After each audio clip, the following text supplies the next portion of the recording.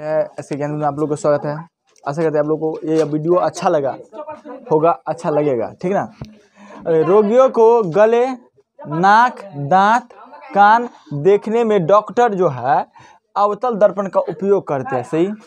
तो अवतल दर्पण का उपयोग क्यों करते हैं? कारण तो होगा कोई, है कि नहीं कारण होगा ना कि अवतल दर्पण का उपयोग क्यों करते हैं?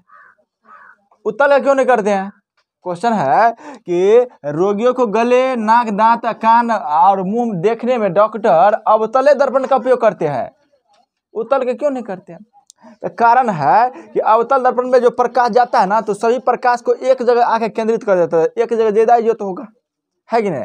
एना में देखे, देखा है ना एना में कि ऐसे करके परावर्तन करेगा तो सबटा प्रकाश तो आता है अति दूरा में रख देता है। रखता ही नहीं रखता है। यही कारण है। गौर से देखिएगा।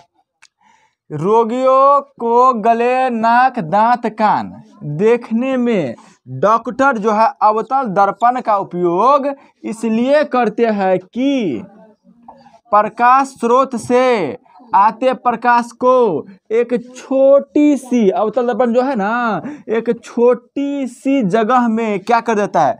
केंद्रित कर देता है, जिससे डॉक्टर को दांत देखने में क्या होता है? सुविधा होता है। और मुँह में तो है गुफा जगह। है कि नहीं?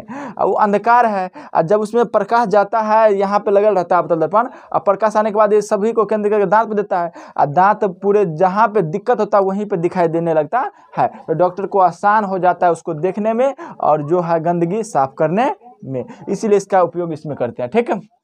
अब देखिए स्कूटर है, मोटर कार है तथा बस है। आप देखो, देखा है कि नहीं? जो एन पे चलते हैं, है ना? सभी जगह चलते हैं, ऐसे थोड़ी ना एच पे चलेगा। गाड़ी में, स्कूटर में जो है रहता है तो उसके साइड में दर्पण जो लगा रहता है ना, ये ना देखने के लिए पीछे वाला वो दर्पण जो होता है ना, वो उत्तल दर्पण होते हैं। तो यहाँ से क्वेश्चन निकल के आया है कि गाड़ी के, गाड़ी स्कूटर मोटर कार और बस में किस दर्पण का उपयोग होता है? तो इसका जो राइट आंसर होगा, उत्तल दर्पण का। तो किस दर्पण का उपयोग होता है? उत्तल दर्पण का उपयोग होता है। एक सूत्र है एफ़ बराबर आर बाय टू। एफ़ बराबर आर बाय टू। अब दूसरा सूत्र है, दर्पण सूत्र जिसे कहते हैं, एक बटा एफ़ बराबर एक बटा भी प्लस एक बटा यू।